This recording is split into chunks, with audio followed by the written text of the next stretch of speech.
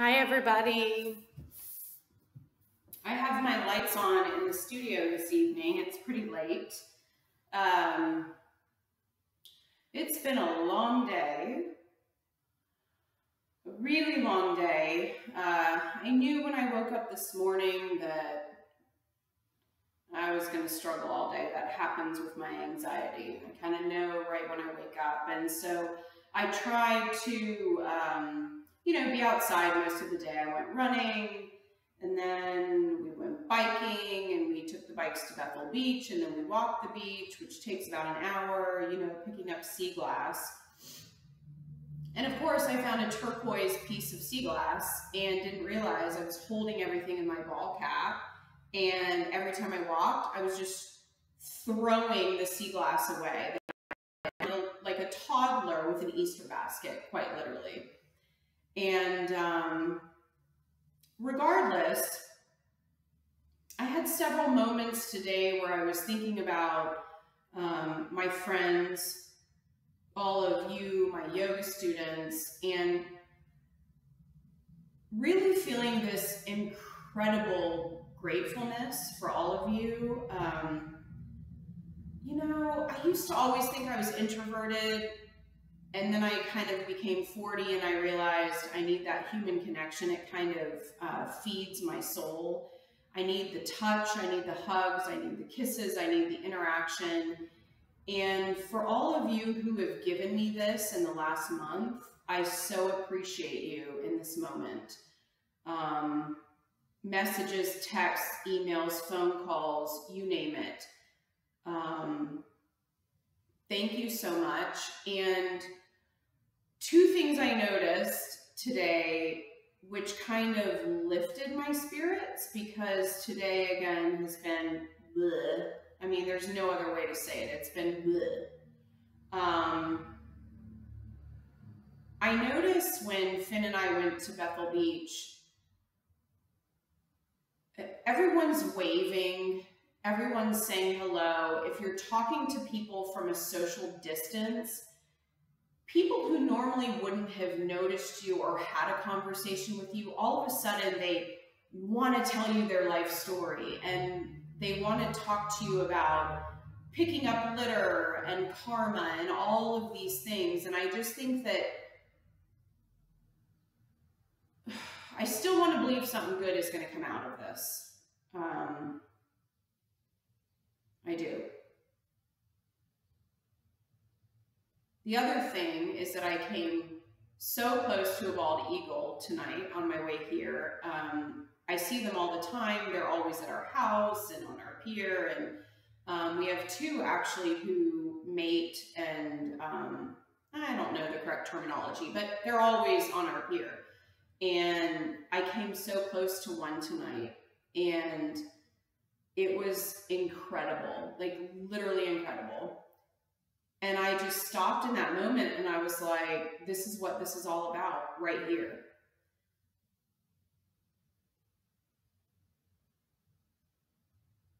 I'm having a hard time tonight. I'm at a loss for words. Again, I have this weird relationship now with my laptop.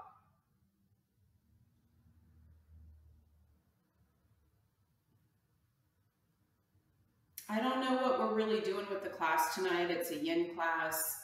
I'd like for you to relax. I'd like for you to stretch and open, open the body, the shoulders, the hips, everything. Um, I'm gonna try to play some music. I don't know if it's gonna work.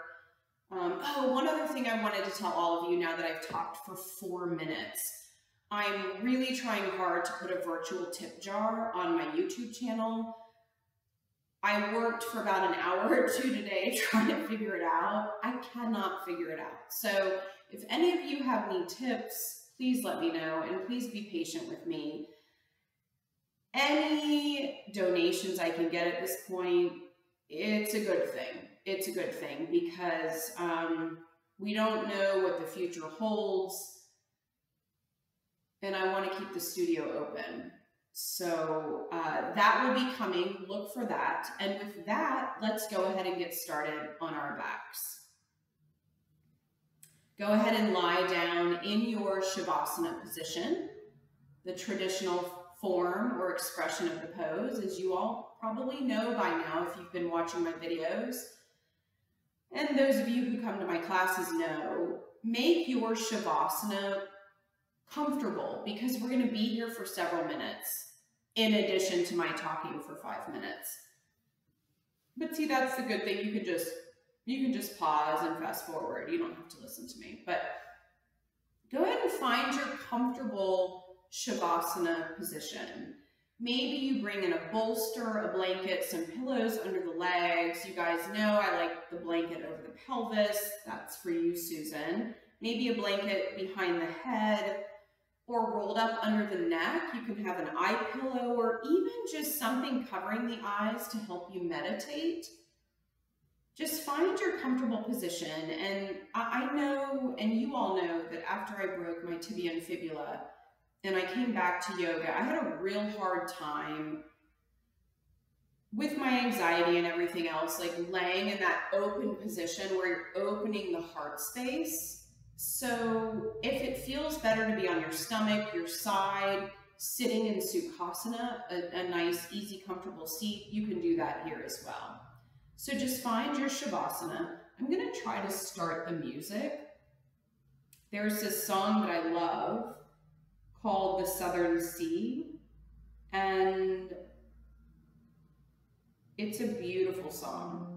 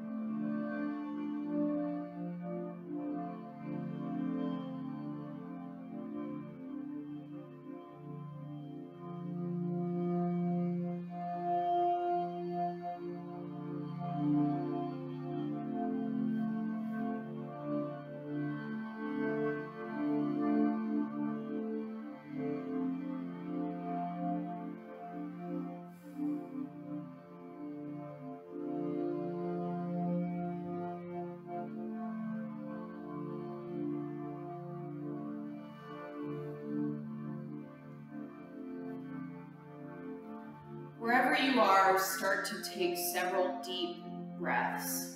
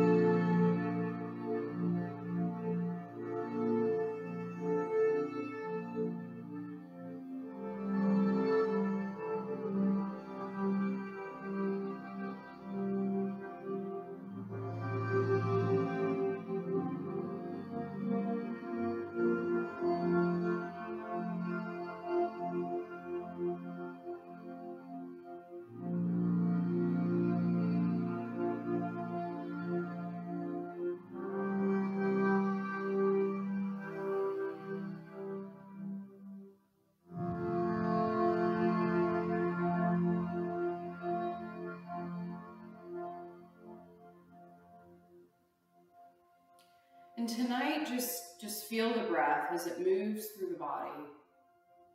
Listen to the music.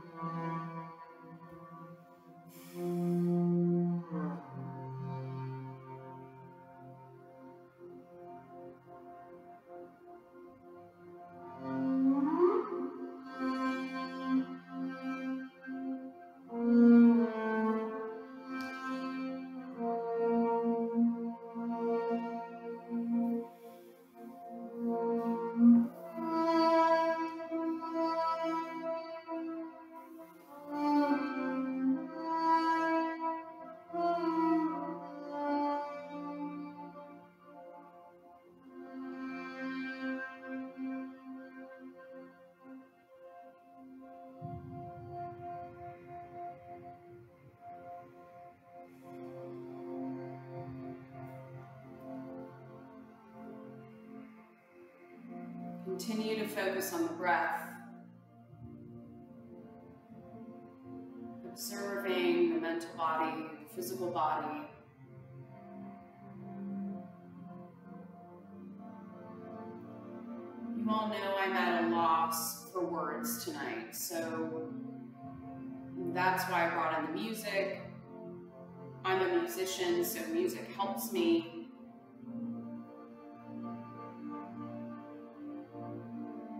Sometimes there just are no words.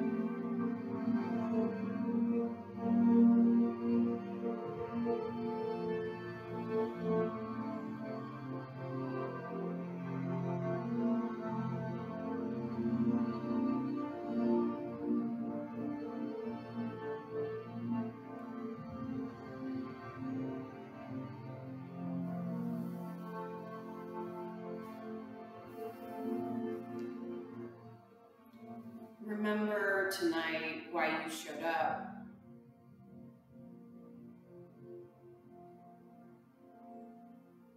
There are days when I come here and I'm thinking, why did I show up? What is it bringing to my life, to my heart, my soul, my energy?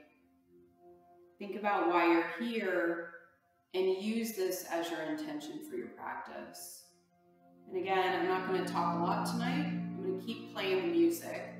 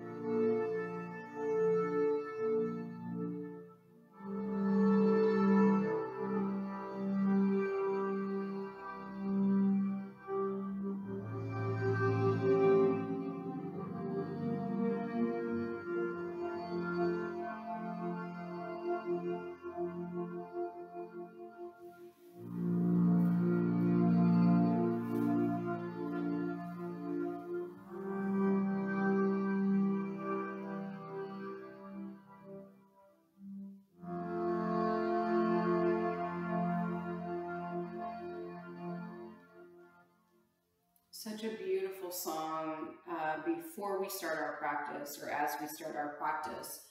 I'd like for you tonight to remember to love you and love your practice. Love your practice for what it was yesterday, what it will be tomorrow, but more importantly, love it for what it is right now, right here in this moment. Let it teach you, give you, and show you. That's why we come to the mat.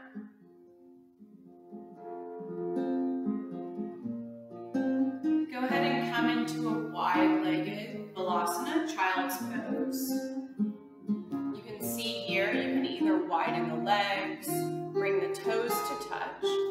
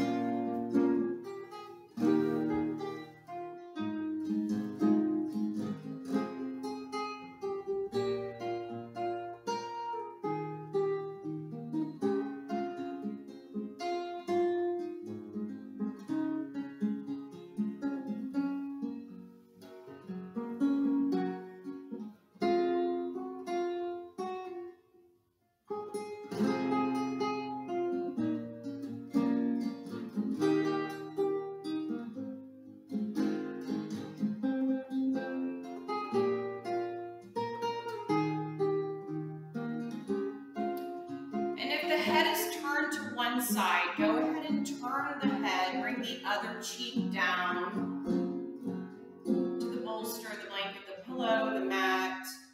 If the forehead is down on the mat, just stay where you are.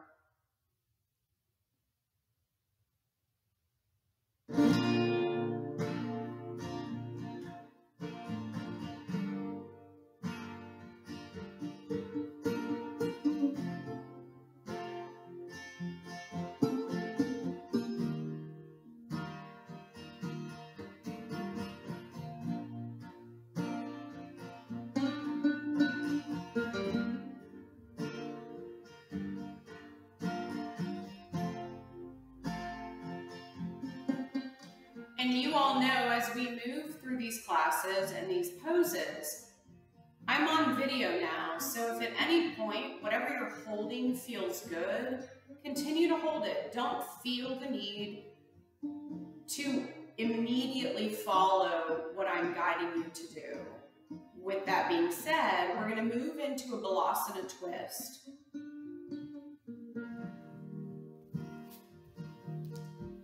So go ahead and bring the hands over to the right. Stack the left hand on top of the right, if that's available, and lower the head back down.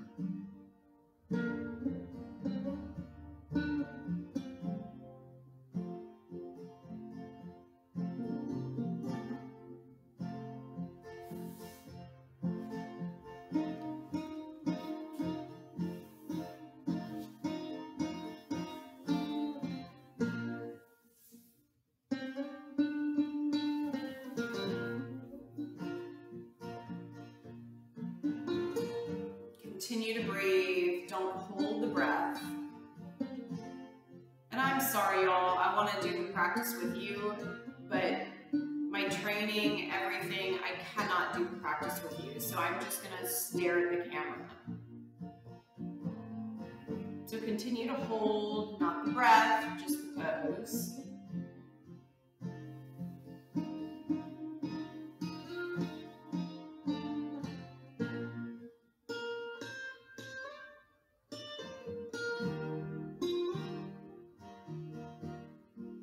On the next inhale, lift the gaze.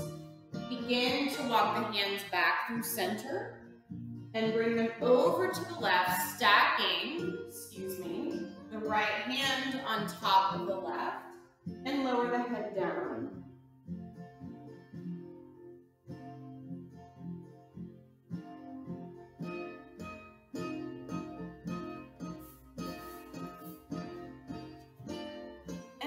Those of you with knee issues, I mean, my right knee is bothering me a lot tonight. Um, you can always bring in something to support the legs here. I'm just going to give you a little visual as you all hold this Balasana twist.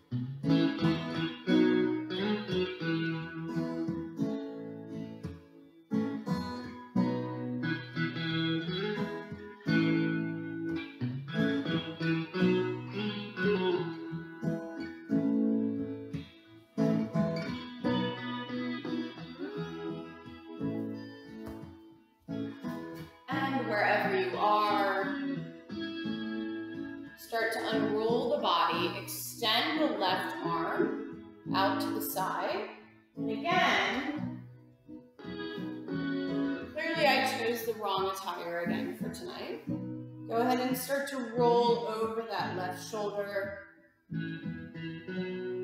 Find a comfortable place for the legs. Woo. For me, that shoulder has always been troublesome, so you're gonna feel different from side to side, and that's okay. Just pause here wherever you are.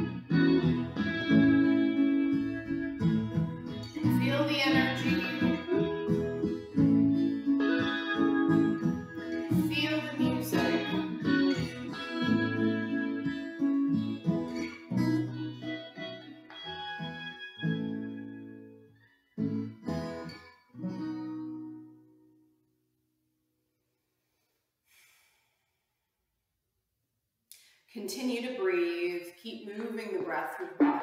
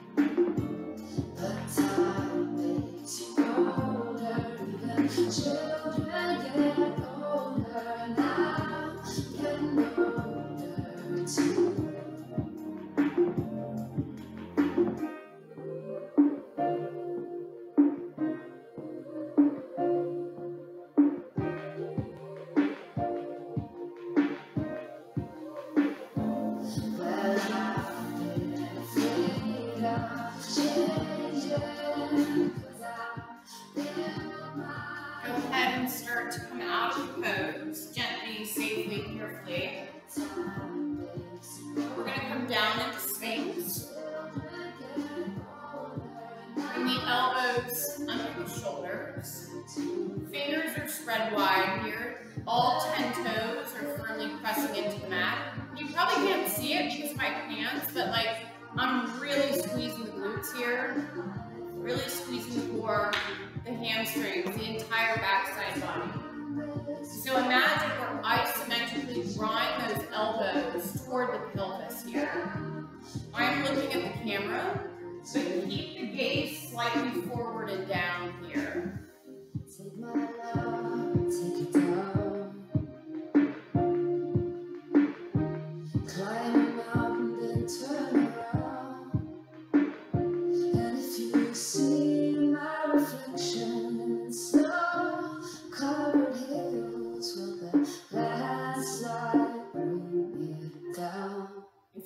Go deeper, you can turn the fingers toward the outer corners of the mat and straighten the arms. You can also bring the hands. My lower back hurts tonight. To the ribs. Excuse me. And come even further up. For a while. My dog won't bite if you sit real still. I got the empty cries. I'm coming out of the pose. But you hold your sphinx, your seal, your modified seal, bring the hands closer to the ribs. And something to say, but nothing comes. Yes, I know what you think of me, never should. Yeah, I can hear the what if I'm a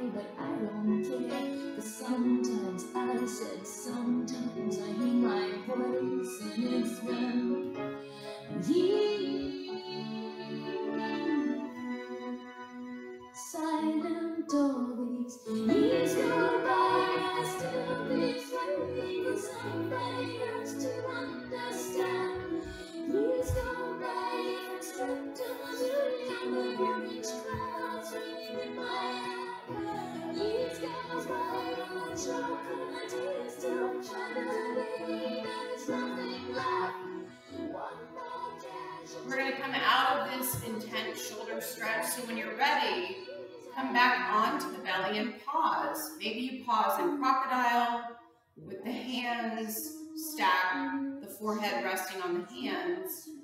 And then when you're ready, we're going to come into this Ardha Hanuman pose, this dragon pose.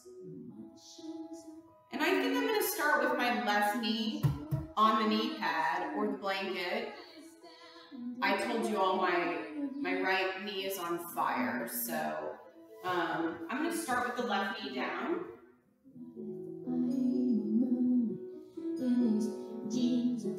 Send that right leg forward. You can keep the back toes tucked. You can flatten the foot. I just don't want this right knee in front of the ankle. It's either directly above or slightly behind. So find your dragon. Can see I'm using blocks here. Um,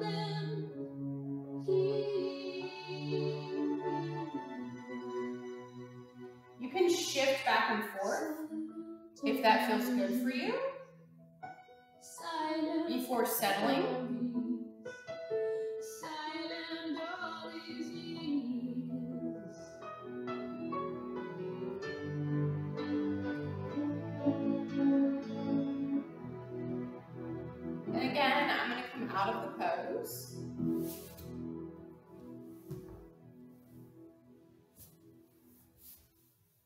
Keeping my props where they are. Would like to know how the video is going because I have no idea. But I like the music.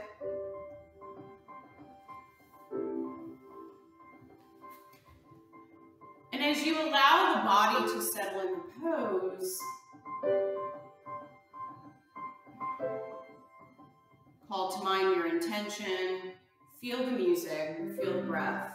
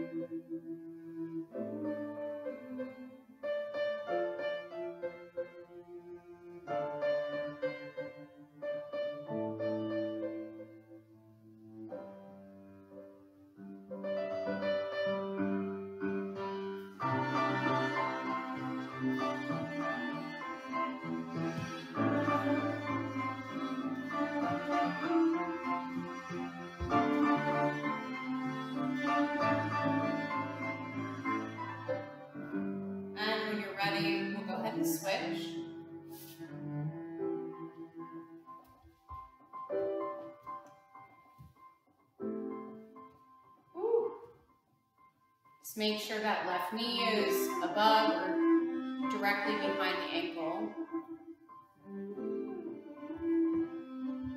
I'm feeling this tonight.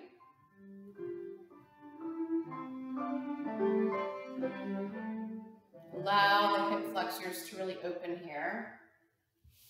And again, I'm going to come out of the pose.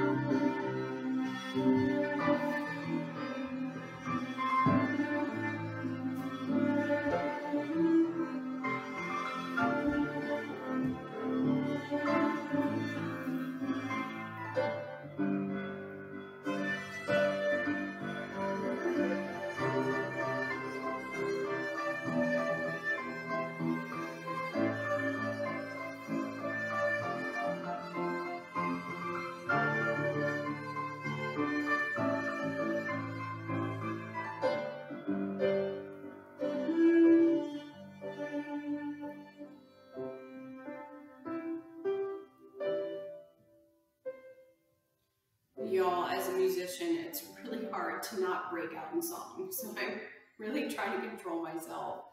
Trying to remember to be professional and that I'm running a business, but I want to sing so badly with this music.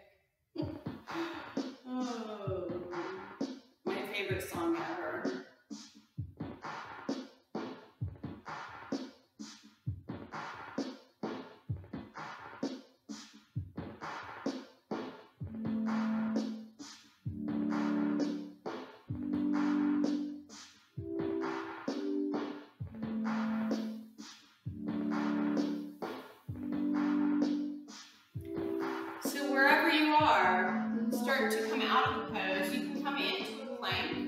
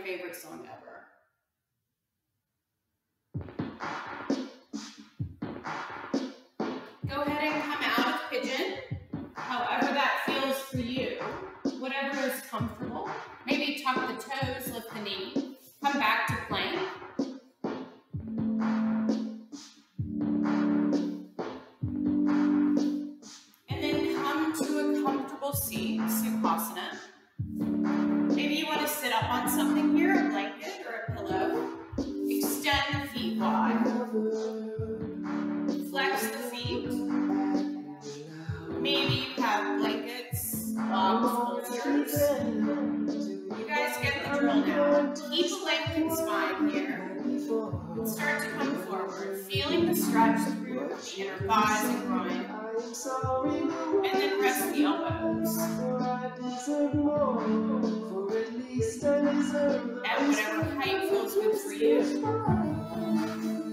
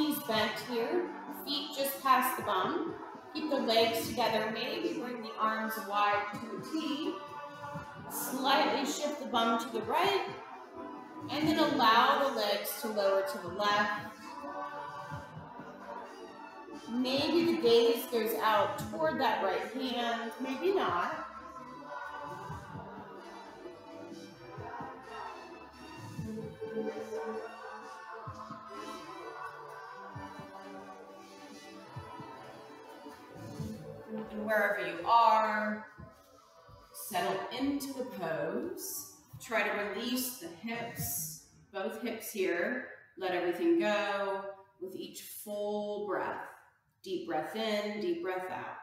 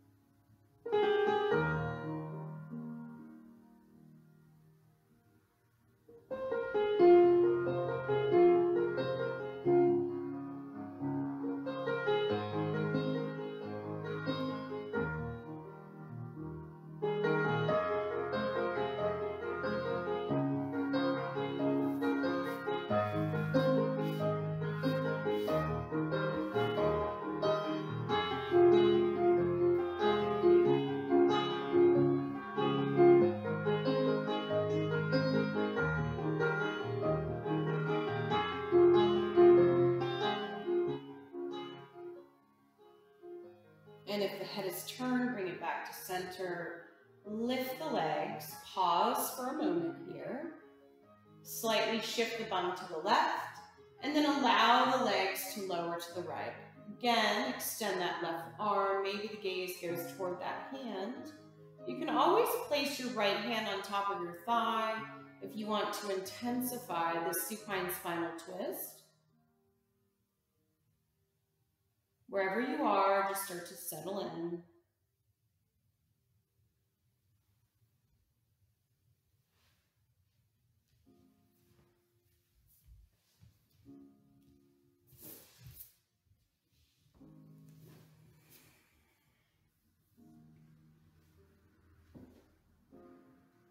Turn the music back up. Hopefully you can hear it. No idea.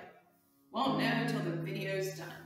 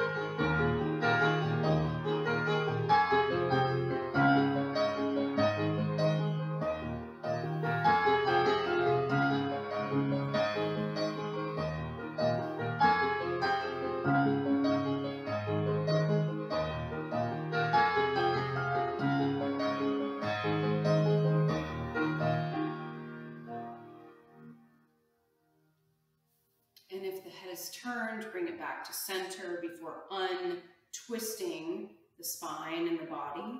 And go ahead and find your comfortable Shavasana position once more. Lay down in a way that is comfortable for you. Doesn't matter what it looks like.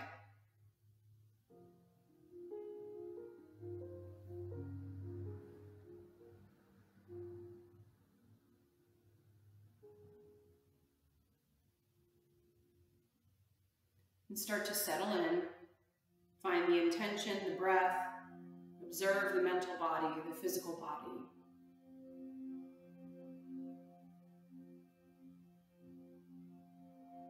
Feel the spirit within, that, that energy, that soul, that human connection. And allow yourself to be here as long as you want, five minutes, 10 minutes, 15 minutes. I'll turn the music up.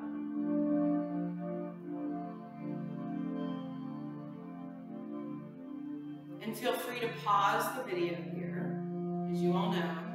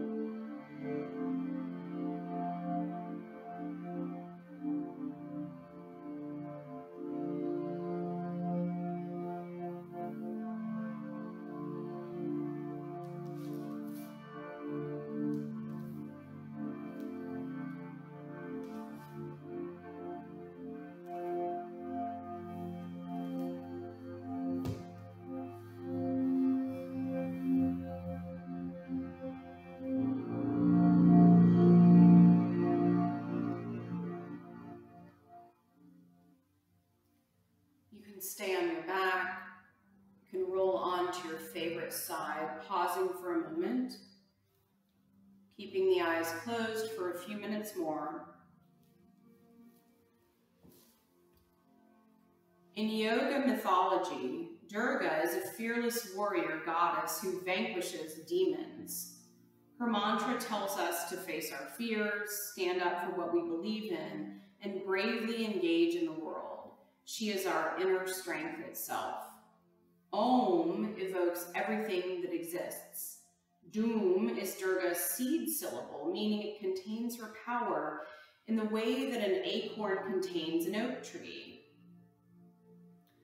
Durgaye is how we sing her name in the mantra. And Namaha means that we bow down, we honor when we chant Om Dum Durgaye. Durgaye Namaha, we call upon the pure strength that resides within us and we step into our power. Find your inner strength. Om Dum Durgaya Namaha. Just a little bit of yoga mythology. We'll meet in Sukhasana, a comfortable, easy seat, and bring the hands to heart center. Acknowledge you showed up on your mat. What will you take with you when you leave? Bring the hands to the forehead in honor of mindful thought, to the lips in honor of mindful speech, and back down to prayer center, always being mindful of love, kindness, compassion, and empathy for yourself first, and then for all others. May you be happy, may you be healthy, may you be safe, and may you live with ease.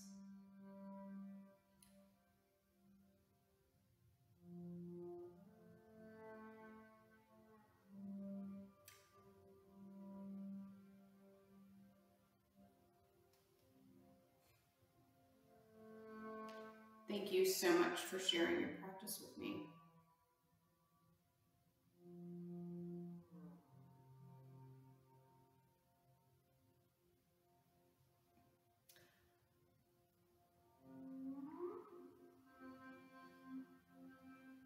Let us bow to one another as we say Namaste.